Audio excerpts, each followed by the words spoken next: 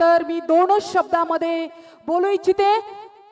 साठलेल्या पाण्याला सागर म्हणता येईल काय? होतील कितीही विरोधी पक्ष नेते पण त्यांना देवेंद्रजी फडणवीस साहेब म्हणता येईल काय? गोर गरीब तमाम जनतेला न्याय देणारा एक बुलंद आवाज एक अजात शत्रू व्यक्तिमत्व. मी विनंती करते साहेबांना की त्यांनी आम्हा सर्वांना आशीर्वाद द्यावा आणि मार्गदर्शन करावं. हिंदवी स्वराज्याचे सरसंस्थापक जाणते राजे छत्रपती शिवराय यांना मानाचा मुजरा करतो. भारतीय राज्यघटनेचे शिल्पकार भारतरत्न डॉक्टर बाबासाहेब आंबेडकर यांना मानवंदना अर्पित करतो. शेतकऱ्याचा आवाज घेऊन त्याची कैफियत मांडण्याकरता त्याचं दुःख समजून घेण्याकरता आणि त्या दुःखाला वाचा फोडण्याकरता सदाभाऊ खोत यांनी ही जागर यात्रा काढली. आणि एकवीस जिल्ह्यांमध्ये या जागर यात्रेच्या माध्यमातून महाराष्ट्राचा आक्रोश आमच्या शेतकऱ्यांचा आक्रोश हा संघटित करण्याचं काम त्यांनी केलं. आज या जागर यात्रेच्या समारोप प्रसंगी मंचावर उपस्थित प्रवीणजी दरेकर, रणजित सिंग नाईक निंबाळकर, सुभाष बापू देशमुख, विजय मालक देशमुख हर्षवर्धन जी पाटिल हर्षवर्धनजी पाटील, गोपीचंदजी पडळकर, समाधानजी अवताडे, राजाभाऊ राऊत, रामभाऊ सातपुते भैया भैयासाहेब मोहिते, श्रीकांतजी देशमुख, शिवनाथ जाधव, सुहास पाटील, योगेश बोबडे, लक्ष्मणराव ढोबळे, पांडुरंग वाघमोडे सागर खोत मंचावर उपस्थित सर्वच सन्माननीय पदाधिकारी आणि उपस्थित सर्व भगिनी आणि बंधूंनो खरं म्हणजे मी सदाभाऊंचं अतिशय मनापासून अभिनंदन करेन की या सरकारमध्ये तर शेतकऱ्याबद्दल कोणी बोलायला तयार नाही शेतकऱ्याकडे कोणी पाहायला तयार नाही शेतकऱ्याकरता काम कोणी करायला तयार नाही अशा या परिस्थितीमध्ये हा जो शेतकऱ्याचा आणि महाराष्ट्राचा आक्रोश आहे हा आक्रोश संघटित करण्याकरता सदाभाऊंनी ही यात्रा काढली. आणि पुन्हा एकदा शेतकऱ्याचे प्रश्न हे ऐरणीवर आणण्याचं काम सदाभाऊ तुम्ही केलं म्हणून तुमचं मनापासून मी या ठिकाणी अभिनंदन करतो. जो खरा सामान्य माणसाचा शेतकऱ्याचा नेता असतो त्याच्या शब्दामध्ये पोट तिडीक असते. सदाभाऊंचं जे भाषण होतं हे त्या पोट तिडकीतनं होतं महाराष्ट्राच्या कानाकोपऱ्यात गेल्यानंतर तिथल्या शेतकऱ्याची अवस्था बघितल्यानंतर तिथल्या शेतकऱ्याच्या कुटुंबाची अवस्था बघितल्यानंतर त्यांचा तो आक्रोश पाहिल्यानंतर त्या आक्रोशाचा जो क्रोध जो राग हा त्यांच्यामध्ये त्या ठिकाणी भरला गेला. आज त्यांच्या वाणीच्या माध्यमातूनच तो या ठिकाणी बाहेर आला. आणि मला असं वाटतं सदाभाऊ या सरकारला थोडी जरी लाज असेल तर तुमच्या भाषणानंतर किंचित तरी जाग या सरकारला येईल आणि शेतकऱ्याकरता काही ना काही निर्णय हे करतील. गेल्या दोन अडीच वर्षामध्ये माननीय मुख्यमंत्री असतील त्यांच्या पक्षाचे प्रवक्ते असतील त्यांचे सोबतीचे पक्ष असतील कोणाला तरी तुम्ही शेतकऱ्याबद्दल बोलताना बघितलं का? हे फक्त जुमलेबाजी करतात. पिकेल ते विकेल. अरे कुठे विकेल? कसं विकेल? कोण विकेल? पिकेल ते विकेल सांगताना मग आज या महाराष्ट्रामध्ये शिल्लक उसाचा प्रश्न निर्माण झाला. महाराष्ट्रातला शेतकरी शिल्लक ऊस पेटवून टाकतोय स्वतः त्या ठिकाणी आत्महत्या करतोय. मग पिकेल ते विकेल कुठे गेलं? पिकेल ते फक्त शेतीमध्ये सडेल आणि जळेल अशी अवस्था या महाराष्ट्राची तुम्ही आणली. आणि त्याच्यावर सांगता आळशी शेतकरी हा उसाचा शेतकरी आहे. उसाचा शेतकरी म्हणजे आळशी शेतकरी. अरे किमान त्याच्या जखमेवर फुंकर मारू शकत नाही तर मीठ चोरण्याचं तरी काम करू नका. काय या ठिकाणी अतिरिक्त उसाचा प्रश्न निर्माण झाला? आपण बघा एक वर्षापूर्वी जवळजवळ आठ महिन्यापूर्वी सभागृहामध्ये बोलताना मी हे सांगितलं होतं की ज्या प्रकारचा ट्रेंड दिसतोय पुढच्या वर्षी अतिरिक्त उसाचा प्रश्न निर्माण होणार आहे. सरकारने त्याच्याकरता प्लॅनिंग केलं पाहिजे. पण सरकारला फुरसत कुठे आहे? यांना कोणाला मदत करण्यात रस नाहीये. शेतकरी नाही बारा बलुतेदार नाही गरीब नाही. यांच्या समोर महत्त्वाचा प्रश्न कुठला आहे? तो प्रश्न आहे बार मालकांचा. आणि म्हणून कोरोनाच्या काळामध्ये बार मालकांच्या दारूची विक्री झाली नाही म्हणून त्यांच्याकरता निर्णय घेऊन त्यांच्या लायसन्सची फी पन्नास टक्के करण्याचा निर्णय यांनी घेतला. शेतकऱ्याला कवडीची मदत नाही आहे पण बार मालकाला मात्र मदत आहे. एवढ्यावरच थांबले नाही. तर आमच्या मायबाप सरकारला असं वाटलं विदेशी दारूचे भाव फार वाढले आहेत. आणि विदेशी दारूवर खूप मोठा टॅक्स लागलेला आहे. त्यामुळे आमच्या मायबाप सरकारनं आमच्या एकाही शेतकऱ्याच्या वीज बिलाचे पैसे कमी केले नाही. पण विदेशी दारूवरचा टॅक्स हा पन्नास टक्क्यांनी कमी केला. हे सरकार चालतं नेमकं कोणाकरता? हा खरा प्रश्न आमच्यासमोर आहे. अतिवृष्टी झाली गारपीट झाली वादळ झालं. आपल्याला आश्चर्य वाटेल. तुम्ही मला सांगा तुम्ही जर आजारी पडलात तर तुम्हाला औषध कधी दिलं पाहिजे? त्याच दिवशी दिलं पाहिजे. त्या क्षणी दिलं पाहिजे. फारच झालं तर दुसऱ्या दिवशी दिलं पाहिजे. पण तुम्ही आज आजारी पडलात आणि नऊ महिन्यांनी जर औषध दिलं तर तुमची अवस्था काय होईल? पेशंटची अवस्था काय होईल? पेशंट जगेल का? चार मोठे आपत्ती आल्या. चक्रीवादळ आलं अतिवृष्टी झाली गारपीट झाली चार मोठ्या आपत्ती आमच्या शेतकऱ्यावर आल्या. मी आलो होतो या सोलापूर जिल्ह्यामध्ये आलो होतो. इतक्या मोठ्या प्रमाणात त्या आपत्तीमध्ये लोक त्या ठिकाणी त्रासले होते. बाजूला उस्मानाबादला गेलो. तिथली परिस्थिती तशीच होती. पण आपल्याला आश्चर्य वाटेल आपत्ती आली की हे बोल घेवडे लोक घोषणा जोरात करतात. दहा हजार कोटीचं पॅकेज. शेतकऱ्याला वाटतं काहीतरी भेटेल. पहिले तर यांचा जी आरच निघत नाही.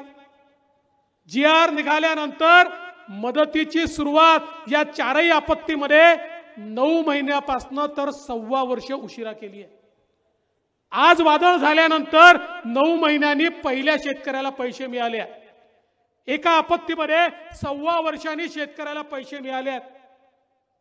आणि ते देखील मगाशी जसं सांगितलं तीन हजार रुपयाचे चेक या ठिकाणी दहा हजार कोटीचं पॅकेज घोषित करायचं तीन हजार कोटीपेक्षा एक नवा पैसा या सरकारने दिला नाही. कारण शेतकऱ्याशी घेणं देणं नाही त्याचं दुःख माहिती नाही. या ठिकाणी सांगतात आम्ही कर्जमाफी केली दोन वर्ष झाले ज्यांनी नियमित कर्ज भरलं त्यांच्या खात्यात पन्नास हजार रुपये तुम्ही देणार होतात. एक फुटकी कवडी दिली नाही आता पुन्हा त्या ठिकाणी राजा उदार झाला आणि सांगितलं आता देतो. एक पैसा दिला नाही. आणि गोपीचंदजींनी सांगितलं खरं आहे आता जी आर असा काढला की शंभरातल्या तीन लोकांना पैसे मिळतील. बाकीच्यांना पैसे मिळणार नाही. अडथळ्याची शर्यत या ठिकाणी तयार केली. आज हीच अवस्था. मगाशी दरेकरजी सांगत होते खरं आहे आम्ही ज्यावेळी पीक विम्याच्या संदर्भात मदत देत होतो आम्ही तर पीक विम्याची मदत द्यायचो आणि थेट खात्यातही मदत द्यायचो. पीक विम्याच्या संदर्भात मदत देत होतो. हे लोक विमा कंपनीवर मोर्चे काढत होते आणि सांगत होते हा विमा विमा कंपनीच्या फायद्या करताय त्यांना फायदा होतोय शेतकऱ्याला तोटा होतोय. आता मोर्चे काढणारे कुठे आहे? आपल्याला आश्चर्य वाटेल. एकट्या मागच्या वर्षामध्ये यांच्या नालायकपणामुळे विमा कंपन्यांना आठ हजार कोटी रुपयाचा फायदा झाला. आठ हजार कोटी रुपयाचा जो पैसा शेतकऱ्याच्या खात्यामध्ये यायला पाहिजे होता आठ हजार कोटी रुपये विमा कंपन्यांच्या घशात यांनी ओतले. आता हे मोर्चे काढत नाहीत आता कंपन्यांचे ऑफिस दिसत नाहीत आता कंपन्यांना गळ्या लावतात त्यांच्या गळा भेट करतात त्या कंपन्याचे एजंट जातात पंचनामा करण्याकरता हजार रुपये मागतात त्याची तक्रार झाली तरी यांना चिंता नाही आहे शेतकऱ्यांनी भरलेले पैसे देखील शेतकऱ्याला या ठिकाणी मिळत नाही. अशा प्रकारची अवस्था या ठिकाणी आहे. अनुदान मिळत नाहीये. या ठिकाणी इतक्या मोठ्या प्रमाणात अनुदानाच्या योजना आपल्या सरकारने सुरू केल्या होत्या. जवळजवळ अनेक क्षेत्रांमध्ये ड्रीपला नव्वद टक्के अनुदान आपण देत होतो. सगळं अनुदान बंद करून टाकलं. आता ड्रीपला अनुदान नाही आहे मागेल त्याला शेततळ्याची योजना आपण सुरू केली. या महाराष्ट्रामध्ये अभूतपूर्व लोकांनी रिस्पॉन्स दिला. त्यानंतर सांगितलं की नुसतं शेततळ देऊन चालणार नाही. आच्छादन देखील द्यावं लागेल. ते देखील आपण दिलं. एकट्या सोलापूर जिल्ह्याने रेकॉर्ड शेततळी तयार केली. मला आठवतं सांगोल्यामध्ये मी गेलो होतो. त्या ठिकाणी जलयुक्त शिवारची पाहणी करत होतो. एक शेतकरी माझ्या जवळ आला. माझा हात पकडला. माझ्या शेतीवर तुम्हाला यावंच लागेल. मी म्हटलं अहो आमचा नियोजित दौरा आहे. पुढे आमची बैठक आहे. म्हणाल नाही तुम्ही माझ्यासोबत चला. आम्ही त्याच्याकडे गेलो. त्यांनी सांगितलं या ठिकाणी रेगिस्तान होतं रेगिस्तान. मला काहीच मिळत नव्हतं. मागेल त्याला शेततळ्याच्या अंतर्गत शेततळ घेतलं आच्छादन मिळालं. ॲपल बेर मी लावले. पंचवीस लाख रुपयाचे ॲपल बेर मी यावर्षी विकले. आणि म्हणून तुम्हाला या ठिकाणी घेऊन आलो. हे तुमच्या सरकारमुळे या ठिकाणी झालं. असे अनेक लोक डाळिंब लावणारे पलबेर लावणारे. पण आज डाळिंबाच्या शेतकऱ्याची अवस्था काय आहे? आज द्राक्षाच्या शेतकऱ्याची अवस्था काय आहे? एका पेटी सोबत एक पेटी मोफत द्यावी लागते. तर कोणी त्या ठिकाणी तुमचा द्राक्ष विकत घेतोय? ही अवस्था आहे. पडलेले डाळिंब आणि पडलेले द्राक्ष जास्त आहेत. ज्याचा एक पैसा माझ्या शेतकऱ्याला मिळणार नाही. कुठे आहे सरकार? कुठलं आहे सरकार? कोण आहे मायबाप सरकार? या देशामध्ये माननीय मोदीजींनी हमी भाव आणला. आणि त्या ठिकाणी स्वामीनाथन आयोग लागू केला. हे केवढे बोलघेवडे लोक आहेत. दोन हजार चार ते दोन हजार चौदा यांचं राज्य होतं. दोन हजार पाच साली स्वामीनाथनचा आयोग आला. स्वामीनाथनचा रिपोर्ट दोन हजार चौदा मध्ये लागू केला नाही. दहा वर्षांनी लागू केला नाही. मोदीजींनी आल्याबरोबर लागू केला. हे म्हणाले तो नीटच लागू केला नाही. तो बरोबरच लागू केला नाही. शेवटी स्वामीनाथन यांनी स्वतः एक लेख लिहिला आणि सांगितलं मी दहा वर्ष शरद पवार साहेब कृषी मंत्री होते मनमोहन सिंग देशाचे पंतप्रधान होते त्यांच्या पाठीशी लागलो. एवढा महत्त्वाचा आयोग मी तयार केलाय हा अहवाल तयार केलाय शेतकऱ्याच्या बाजूचा अहवाल आहे. पण यांनी लागू केला नाही. दहा वर्षानंतर मोदींचं सरकार आलं तेव्हा माझा अहवाल लागू झाला. आणि तुम्ही विचार करा मागच्या सरकारच्या काळामध्ये एकूण हमी भावाची खरेदी व्हायची आठ हजार कोटी रुपयाची. आठ ते बारा हजार कोटी. आणि मोदीजींनी ती खरेदी नेली दीड लाख कोटीवर. आज दीड लाख कोटी रुपये शेतकऱ्यांना देण्याचं काम हे मोदीजींच्या माध्यमातून या ठिकाणी होत आहे. आणि त्या काळामध्ये देशामध्ये कर्जमाफी केली. यांनी किती आपल्याला हार घालून घेतले? पन्नास हजार कोटी दिले पन्नास हजार कोटी दिले. अरे आम्ही तर एकट्या महाराष्ट्राची कर्जमाफी पंचवीस हजार कोटीची केली. आणि मोदीजींनी तर आतापर्यंत शेतकऱ्यांना थेट खात्यामध्ये दिलेले पैसे आहेत. एक लाख पंच्याहत्तर हजार कोटी रुपये शेतकरी सन्मान योजनेच्या माध्यमातून एक लाख पंच्याहत्तर हजार कोटी रुपये दिले पण कधी सांगितलं नाही आम्हाला येऊन हार घाला आणि आमचं स्वागत करा आणि आमचं तुणतुण वाजवा. याचं कारण मोदीजींना माहिती आहे या देशातला शेतकरी जर राहिला तर हा देश राहील. आणि म्हणून एक लाख कोटी रुपयाची योजना शेतकऱ्याच्या शेतीपासनं मार्केट पर्यंत लिंकेज करता मोदीजींनी सुरू केली. या महाराष्ट्रामध्ये आम्ही देखील योजना सुरू केली. प्रत्येक गावामध्ये त्या ठिकाणची सोसायटी त्याचं ट्रेनिंग करून त्या सोसायटीला पणन सोसायटीमध्ये परिवर्तित करून मार्केट लिंकेज करून त्या त्या गावामधला माल हा विकला गेला पाहिजे. याकरता वर्ल्ड बँकेकडनं चार हजार कोटी रुपये मिळवले. हे सरकार आलं या सरकारनं आम्ही त्या योजनेला नाव स्मार्ट योजना दिलं होतं. या सरकारने त्या योजनेला नाव दिलं. बाळासाहेब ठाकरे कृषी समृद्धी योजना. आम्ही म्हटलं चांगलं आहे. बाळासाहेबांचं नाव दिलं कमीत कमी ही योजना राबवतील. आपल्याला आश्चर्य वाटेल. आता दोन वर्ष होऊन राहिले शंभर कोटी रुपये खर्च करू शकले नाहीत. अरे जनाची नाही तर मनाची ठेवा की ज्यांच्या नावानं तुम्ही योजना केली चार हजार कोटी रुपये या ठिकाणी वर्ल्ड बँकेने दिले आहे. प्रत्येक गावच्या सोसायटीला ट्रेनिंग द्यायचं आहे पैसे द्यायचे आहेत गोडाऊन तयार करायचं आहे जेणेकरून माझ्या शेतकऱ्याला आपल्या गावामध्येच मार्केटचं लिंकेज मिळेल नाहीतर माल तारण ठेवता येईल. त्यामुळे जेव्हा भाव खाली असेल त्याचा माल त्या ठिकाणी तो ठेवेल भाव वाढेल तर माल विकेल. तोपर्यंत त्याला सोसायटीच्या माध्यमातून पैसा मिळेल. दहा हजार सोसायट्या तयार करण्याकरता वर्ल्ड बँकेने चार हजार कोटी रुपये दिले. एक फुटका पैसा देखील खर्च करू शकत नाहीत. गटशेतीची योजना आपण तयार केली. गटशेतीच्या योजनेमध्ये आम्ही सांगितलं या ठिकाणी शेतकऱ्यांनी जर गट तयार केला तर त्या गटाला एक कोटी रुपये अनुदान आम्ही देऊ आणि त्या अनुदानाच्या माध्यमातून त्या ठिकाणी समृद्धी आणण्याकरता आणि यांत्रिकी शेती करण्याकरता प्रोत्साहन देऊ योजना बंद करून टाकली. या ठिकाणी आम्ही सांगितलं यांत्रिकीकरणाकरता आमच्या शेतकऱ्याला अनुदान देऊ. ती योजना यांनी बंद करून टाकली. बंधू भगिनींनो कोणती योजना चालू आहे? यांच्याकडे एकच योजना चालू आहे. यांचं काम हे जुन्या काळातल्या पब्लिक टेलिफोनसारखं आहे. त्या टेलिफोनमध्ये एक रुपया टाकला तरच हॅलो ऐकू यायचं नाही तर हॅलो ऐकू यायचं नाही. हे सरकार असंच आहे. या सरकारला दान दिलं तर अनुदान येतं. आणि दान दिलं नाही तर दानादान होते. अशा प्रकारची अवस्था या सरकारने आमच्या सामान्य शेतकऱ्याची करून ठेवली आहे. केवळ माल कमवण्याचं काम चाललेलं आहे. सगळे याकरताच गुंग आहे. खरं म्हणजे मुख्यमंत्र्यांनी कोरोनाच्या काळात सांगितलं माझं कुटुंब माझी जबाबदारी यांच्या सगळ्या मंत्र्यांना वाटलं हेच ठरलंय. आपल्याला फक्त आपलं कुटुंबच पाहायचं आहे बाकी जी जनता आहे ती मोदींची जबाबदारी आहे ते मोदी पाहतील.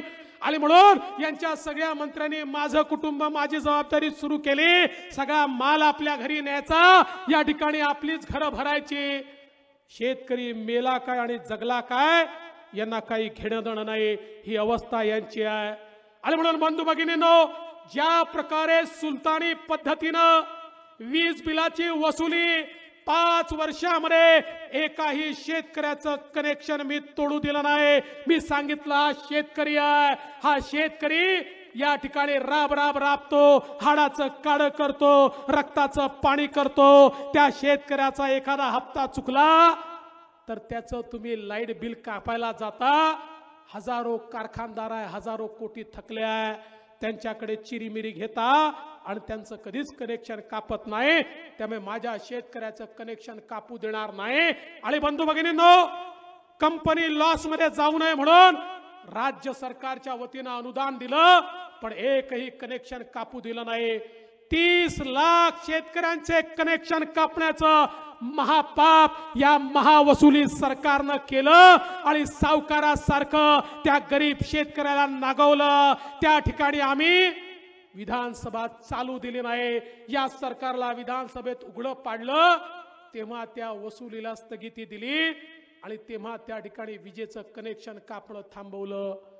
आणि म्हणून माझा सवाल आहे हे सरकार कशाच्या भरोशावर शेतकऱ्याचा कैवारी आहे म्हणून सांगतं अरे शेतकऱ्याची दैना या सरकारच्या माध्यमातून या ठिकाणी होते आणि म्हणून बंधू भगिनींनो आज या सोलापूरमध्ये या ठिकाणी उजनीच्या पाण्याचा प्रश्न निर्माण झालाय. उजनीचं धरण तयार केलं. त्यावेळेस एवढं सांगितलं होतं उजनीचं पाणी सोलापूरला मिळेल बॅकवॉटर दुष्काळी गावांना मिळेल. पण आता याच्यावरही काही लोकांची नजर गेली आहे. आणि आता हे पाणी देखील पळवण्याचा प्रयत्न चाललेला आहे. काही लोकांची तहानच भागत नाही त्याला तुम्ही काय कराल? सगळ्यांचं आम्हालाच पाहिजे सगळं आमच्या ताटातच पाहिजे. ही जी अवस्था आहे आज या अवस्थेमुळे सामान्य माणूस अडचणीत आलाय. आज आपण बघू शकतो या सगळ्यांनी षडयंत्र करून आमच्या शेतकऱ्याचे साखर कारखाने जे शेतकऱ्याच्या आणि सरकारच्या भरोशावर तयार झाले होते ते कारखाने जाणीवपूर्वक बुडवले आणि मग तेच कारखाने पुन्हा विकत घेतले.